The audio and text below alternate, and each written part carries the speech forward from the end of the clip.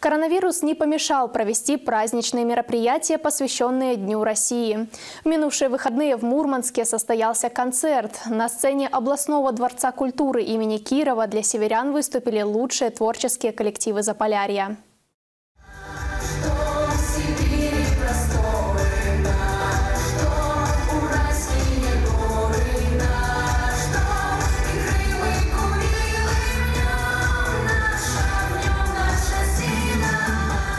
Мероприятия, посвященные главному празднику страны, проходят по всей России. В Мурманске этот день всегда отмечают с размахом, ведь для многих северян он имеет особое значение. День России – это день радости, день нашей России, день нашей Родины. Что такое День России? Это наша Родина, наши дети, наши внуки, наши правнуки, наше счастливое детство на, на, наше было, наших детей, наших внуков.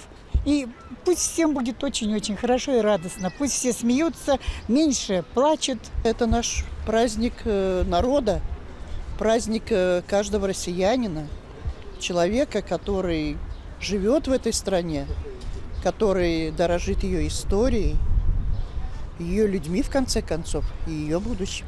Зал областного дворца культуры имени Кирова быстро заполнился на дозволенные 75%. На протяжении всего вечера гости наслаждались зажигательными песнями и танцами, а также теплыми словами и пожеланиями, звучавшими со сцены. Россия – это великая страна, и в ней живет великий народ, народ победителей.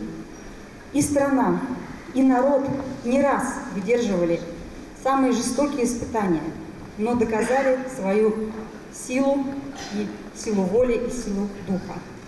А Мурманская область занимает достойное место среди регионов страны. Я думаю, что э, мы должны в эти славные традиции, то, что заложено наши предшественники, сейчас в нынешних условиях работать, сохранить все и приумножить. Задач Перед нами стоит очень много. Главная задача, чтобы наш регион развивался. Некоторые мурманчане удостоились наград за особые трудовые заслуги перед государством и народом.